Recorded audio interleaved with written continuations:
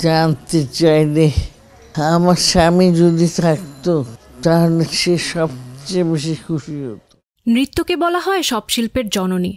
আর বাংলাদেশের নৃত্যাঙ্গনকে যারা আগলে রেখেছিলেন, তাদের মাঝে অন্যতম সদ্যপ্রয়াত জিনাত বরকতুল্লাহ।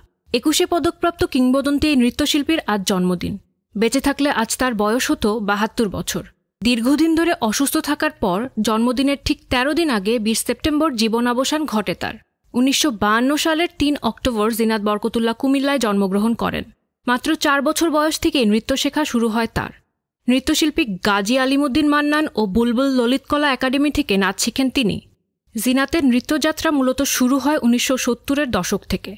ভরতনাট্যম, কত্থক, মণিপুরী। প্রথম জীবনে শাস্ত্রীয় নৃত্যের এই তিন ধারাতে তালিম নেন তিনি। পরবর্তীতে লোকনৃত্যেই নিজেকে প্রতিষ্ঠিত করেন এই কিংবদন্তি।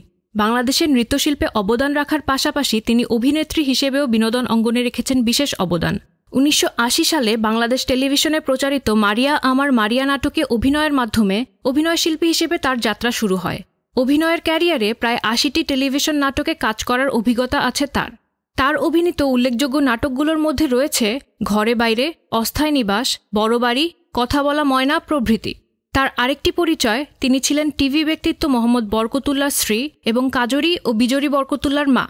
দুই হাজার বিশ সালে তিনি তার স্বামীকে হারান। মেয়ে বিজরি থেকে জানা যায়, স্বামীকে হারিয়ে ডিপ্রেশনে পড়েন জিনাত। অসুস্থতার পাশাপাশি করোনায় স্বামীকে হারানোর ব্যাপারটি অনেকটাই কাবু করে ফেলেন তাকে। বিশ সেপ্টেম্বর তার প্রয়াণের পর শোকবার্তায় আবেগ প্রকাশ করেন সংশ্লিষ্ট অনেকেই। যেই প্রোগ্রামে ভালো নাচতাম উনি আমার কপালে একটা চুমু খেতেন। শেয়ার করি যে আমার মাথার উপর থেকে একটা বড় তো সব মিলে অনেক অনেকদিন ধরে সাফার করছিলেন আসলে। তো আজকে তো ফাইনালে চলে বলা বাহুল্য মা জিনাতকে হারিয়ে তার মেয়েদের শোকের কথা যে ভাষায় প্রকাশ করার মতো না। মায়ের চলে যাওয়ার কয়েকদিন পরই এলো তার জন্মদিন। তাই নিজের অফিসিয়াল সোশ্যাল মিডিয়া হ্যান্ডেল থেকে দুই মেয়েই স্মরণ করেছেন তাদের মাকে। কাজরি ফেসবুকে মাকে শুভেচ্ছা জানিয়ে লিখেছেন শুধু তোমাকে চাই দেখা না দেখায় শুধু তোমাকে চাই। সারাটা জীবন শুধু তোমার দয়ায় থাকতে চাই।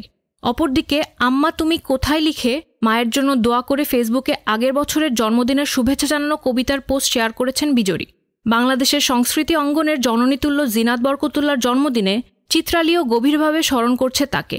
সাথে বিজরির শেয়ার করা কবিতার একটি লাইন থেকে অনুপ্রাণিত হয়ে বলতেই হয়, সেই যে জিনাত বরকতুল্লা, বিশ্বভুবন মাঝে তাহার নেই তুলনা